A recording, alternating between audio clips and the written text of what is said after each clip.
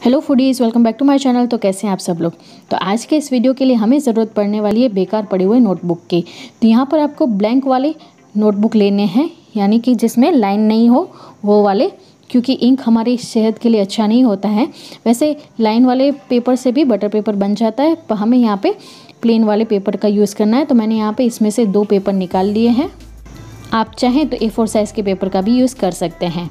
तो अभी मैंने नीचे बिछा ली है एक ट्रे। आप चाहें तो चॉपिंग बोर्ड का भी यूज़ कर सकते हैं। ये काम को अगर आप बच्चों को भी दे देंगे तो वो बहुत ही मज़े लेकर करने वाले हैं। तो अभी आपको करना है यहाँ पे पेंट जी हाँ तो इसके लिए मैंने ले लिया है एक ब्रश और साथ ही साथ ले लिया है कुकिंग ऑयल ध्यान रहे कि आपको स्मेल वाला कुकिंग ऑयल यूज़ नहीं करना है, ना ही घी का यूज़ करना है, क्योंकि उसकी स्मेल फिर आपको केक में आएगी। तभी इसके ऊपर मैंने ड्रिजल कर लिया है थोड़ा सा ऑयल और आपको जैसे मज़े आए, वैसे आपको इसको ब्रश करना है। और आप देखेंगे कि सिर्फ़ एक मिनट में हमारा बटर पेपर तैयार होके आ जाएगा। तो अच्छी तरीके से आपको ऑयल से इसे ब्रश कर लेना है।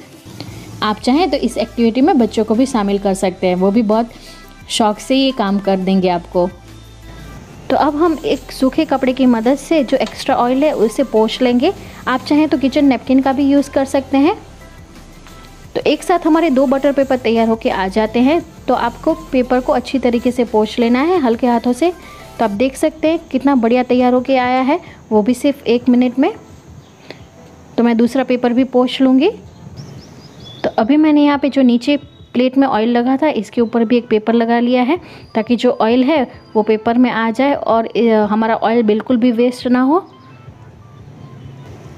तो प्लेट में लगे ऑयल से भी हमारा तीसरा पेपर तैयार होके आ जाएगा आराम से। देखिए तो हमें यहाँ पे बिल्कुल भी वेस्ट नहीं करना है।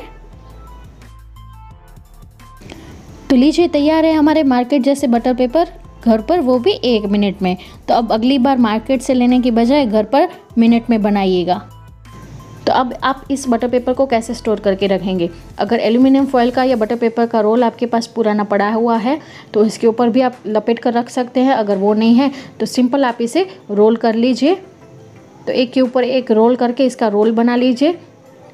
तो ऐसे भी आप इसे स्टोर कर सकते हैं। तो मैं सारों को रोल कर लूँगी और इसके ऊपर एक सूखा वाला पेपर लगा लूँगी, ताकि इससे, इसके ऊपर डस्ट ना चिपके। तो हमें इसे डस्ट प्रूफ भी करना है। तो मैं यूजुअली जब बनाती हूँ तो इसके ऊपर एक सूखा वाला पेपर लगा लेती हूँ। ध्यान रहे कि आपको न्यूज़पेपर का यूज़ नहीं करना है, ना ही लाइन वाला पेपर यूज़ करना है। फिर इसके ऊपर लगा लूँगी एक रबड़ बैंड तो दोस्तों, कैसा लगा आपको मेरा आज का वीडियो अगर वीडियो हेल्पफुल रहा तो गाइस प्लीज़ वीडियो को लाइक शेयर चैनल को सब्सक्राइब करना ना भूलेगा पास में दिए गए बेल बटन को ज़रूर से हिट कीजिएगा।